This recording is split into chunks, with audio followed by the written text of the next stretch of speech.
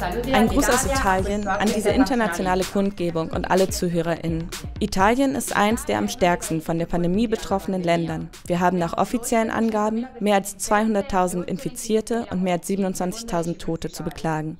Und dies geschah in einem Land mit einem der besten Gesundheitssysteme weltweit. Dies ist möglich aufgrund der jahrzehntelangen Kürzungen im öffentlichen Gesundheitswesen, die von Mitte-Rechts- und Mitte-Links-Regierung vorgenommen wurden. Es fehlt an Krankenhausbetten, künstlichen Beatmungsgeräten, Schutzausrüstung wie Masken oder massiven Tests zur Feststellung der Ausbruchsherde.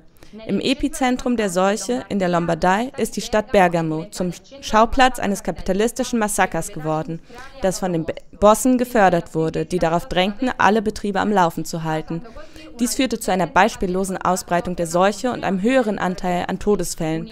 Eine Hölle für die arbeitende und ältere Bevölkerung. Die älteren Menschen wurden meist zu Hause gelassen, um allein zu sterben. Im ganzen Land bestand die wichtigste Maßnahme gegen das Virus in der Ausgangssperre von Millionen von Menschen, die von Polizei und Militär auf den Straßen kontrolliert wurde. Inmitten dieser Krise herrscht in Italien ein Klima der nationalen Einheit und Präsident Conte, der sich als Vater des Vaterlandes darstellt. Aber der Kampf der ArbeiterInnen hat begonnen, diese reaktionäre Front zu brechen. Die MetallarbeiterInnen und die der Logistikbranche haben mit Mobilisierung und wilden Streiks ihre Wut in Kampfkraft verwandelt.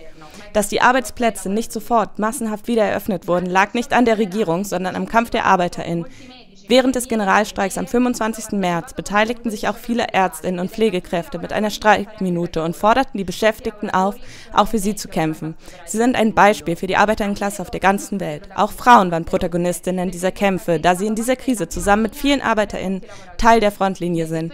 In den von dieser Krise am stärksten betroffenen Sektoren sind mehrheitlich Arbeiterinnen wie Krankenpflegerinnen, Reinigerinnen, Verkäuferinnen tätig.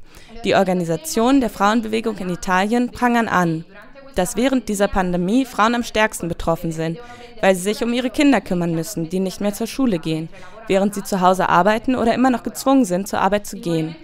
Die feministische Bewegung prangert auch an, dass die Fälle sexualisierter Gewalt zugenommen haben, ohne dass es Möglichkeiten für alternative Wohnmöglichkeiten gibt.